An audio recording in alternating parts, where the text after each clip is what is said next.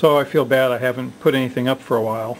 I've been working on software mostly, um, particularly to control this uh, new guitar, the Buzzsaw. Uh, and the Buzz has a composer mode where you can take inputs from a synth, which has somewhat distracted me because I've fallen into the black hole of, of uh, air guitar uh, playing MIDI that I pick up off the, the web. Uh, all for the purpose of getting the tuning better, of course, but I thought I'd show that off uh, today. So first a quick tour of the Buzz. I got a couple surface mount motors here, DC motors, 12 volt motors. Um, this is uh, mechanisms all described on the website. Got them on uh, wire ties so I can swap them in and out. Uh, there's the slide pots. You can see there that provide the tuning. a couple springs. Uh, this is the bridge because it's active bridge because the string slides. It's a couple of uh, fairly massive bearings, uh, skateboard bearings. a dual pickups so I can process the string separately. I'm not doing that right now. They're just added together. These are tiny pickups made out of relay coils and there's little rare earth magnets stuck on the side and those are the uh, feedback for the auto tuning which runs all the time it's being played. I got a string clamp uh, which cuts the retuning.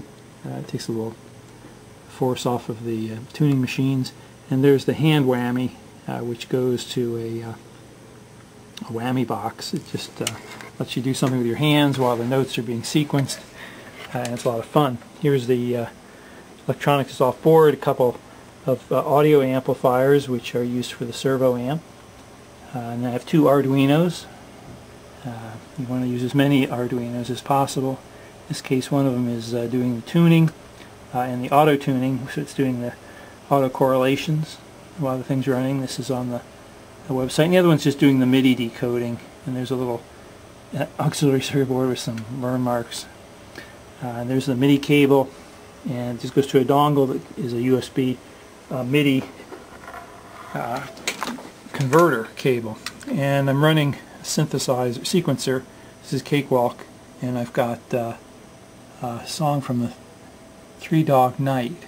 Uh, Mama told me not to come uh, I gotta use both hands to play that so I'm going to set this up so you can see the the guilty pleasure of playing other people's music uh, as the servo motors move.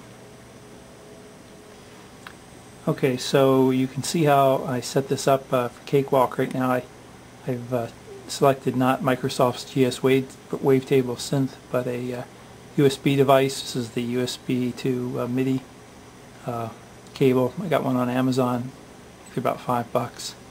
and the two strings, one is decoded to channel 1 uh, and the other one is decoded to uh, channel 2. I don't see that here. Put the bass line on channel 2. Oh, there it is. Okay, so servo 2 is, is the melody, uh, and servo 1 is, uh, I just put the bass, pulled this off of uh, MIDI site, and uh, so I'll go ahead and pull up the score, okay, and we'll reset this and I'll set the camera out so you can see uh, the servo motors as well.